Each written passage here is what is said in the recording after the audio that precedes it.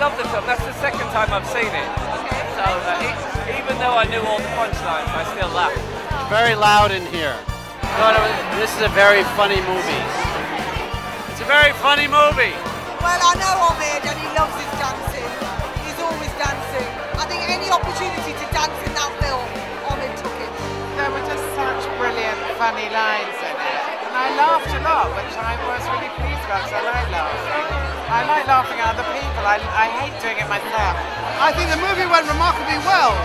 3,700 people were with it, stayed with it, and they laughed at the right places. Cabbage on the evening. It's been uh, kind of mad and surreal, and uh, I'm a bit wiped out because I've been doing publicity for about what feels like a year.